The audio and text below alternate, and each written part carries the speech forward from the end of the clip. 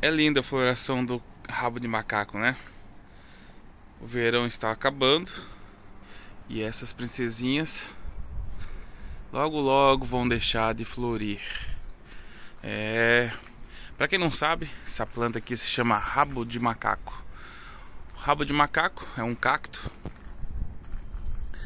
É, tem a floração num, na época do verão ela acaba dando a floração, sai a floração e logo em seguida já começa a vir outras. Dando exemplo aqui, ó. ó vamos ver se dá pra ver aqui, ó. ó. Aqui é um botãozinho da flor que tá vindo.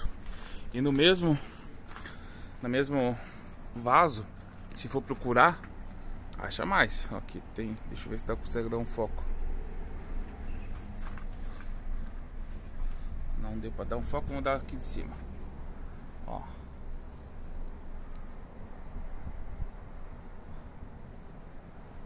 Aqui tem um. Aqui tem outro que não deu pra ver direito. Cadê? Ali. Aqui tem outro também, na mesma planta.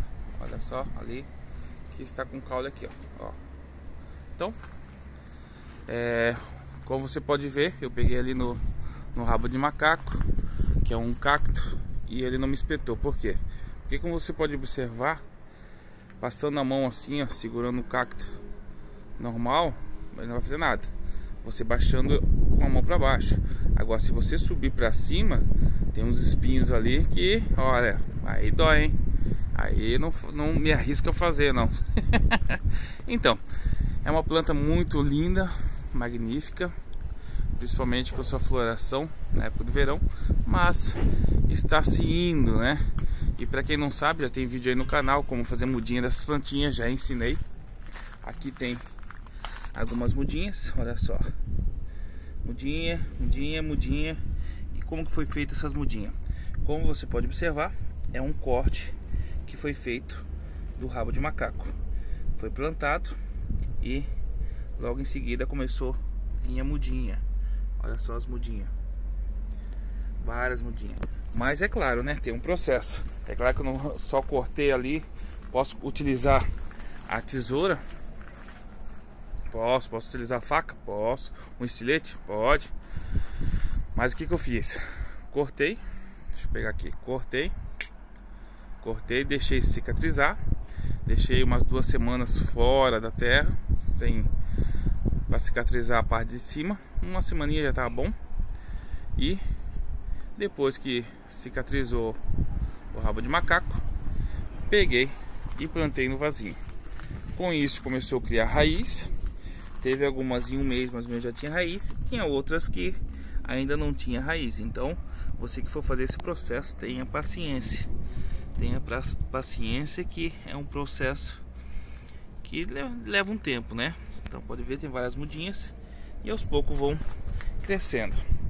Aqui no quintal já foi feita algumas mudanças. Foi colocada essa linha aqui para poder segurar essa orquídea aqui que tá tava caindo pro corredor. E aí não dava para para se locomover até lá, né?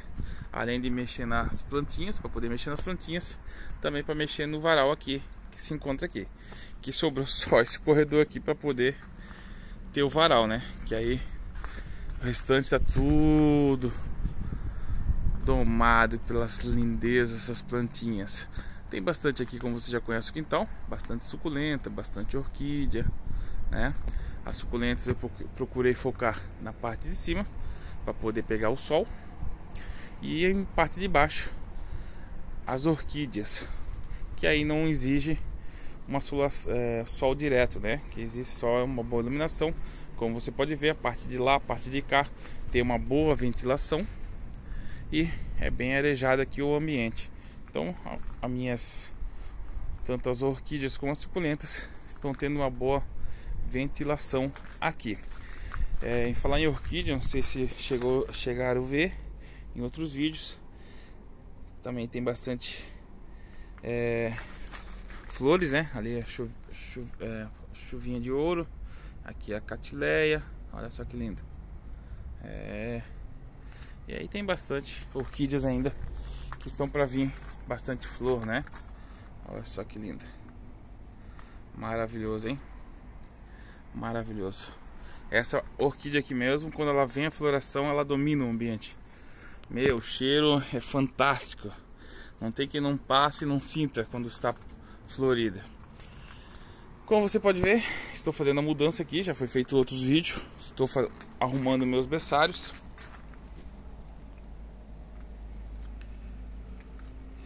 Estou retirando daqui, tirando os berçários, já foi retirado duas bandejas, ou melhor, três bandejas. Uma, duas, três, três bandejas. E com essas três bandejas, olha o tanto de suculento que já foi feito. Ou melhor, né? Já estava feita ali, mas foi transferida para um pote 8, né? Então, é uma mais linda que a outra. Estão aí. Como você pode ver, já falei em outros vídeos também.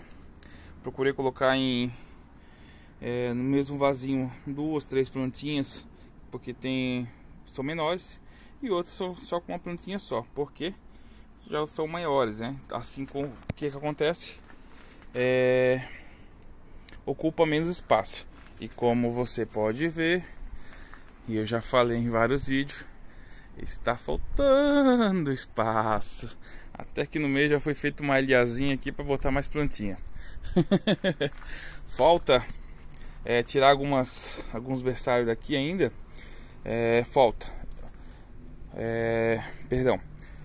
Tirar algumas mudinhas dos berçários falta, porque alguns os berçários aqui ainda vão continuar. Dando exemplo, é, esse berçário aqui foi pego, retirado com as mudinhas que tinha lá, dando exemplo como, como aqui você pode observar, ela estava cheia, né? Olha só, todas completas, cheias, maravilhosas. Então faltando espaço para elas, foi dado uma distância entre uma plantinha e a outra para poder facilitar o crescimento dela. Então, com isso, eu ocupo menos espaço, menos vasinho, que também, bem dizer, acabou os vasinhos. O que eu tenho de vasinho é só o que tem ali na mesa, que já se foi. Os vasinhos pote 8, tem que comprar mais. Então, tá economizando aqui a parte de vaso e de espaço, que aí ainda fica na bandeja. Esse aqui já foi feito, esse aqui já foi, falta arrumar essa parte aqui ainda. Esse aqui vai ser mexido ainda. Esse aqui já foi feito, falta plantar mais um pouco aqui na lateral. Já foi dado espaço. Esse aqui, como você pode ver, não foi feito ainda, porque tá cheio de mudinha ainda. Olha só como elas estão, bem dizer, sufocadas pelas outras mudinhas. Aqui já foi feito algumas, mas vai ser mexida ainda. Então precisa alterar, igual dando exemplo aqui, aqui a velha Dionísio ainda, olha só, tá bem distanciada uma da outra, mas falta arrumar algumas plantinhas que vão crescendo, né? E ali a, as outras bandejas de isopor que eu fiz, fiz um buraco, né? Como já tem vídeo no canal aí também, retirei a parte de dentro, furei a parte de baixo e coloquei o substrato e utilizei como um berçário. Pode ser como um berçário, como um vaso, um vaso que você queira utilizar. Ou também, igual as jardineiras, né? São compridas, grandes. Então pode ser feito assim. E para mim, facilitou, economizou dinheiro e também reciclou. O meio ambiente agradece. Como dando exemplo aqui, você pode observar, olha só que eu procuro fazer. Aqui tem plaquinhas, né? Identificação das, plantinhas. Das plantinhas. É... Faltou plaquinha, o que, que eu fiz? Esse aqui uma, uma madeirinha. Foi colocada ali, pode ser uma madeirinha de picolé, pode ser, como eu utilizei aqui, é, madeirinha de, de bambu. então foi cortado o bambu, foi lixado e foi colocado ali o nome na plaquinha. E aí, estou criando aí, multiplicando as minhas suculentas. Estão todas lindas.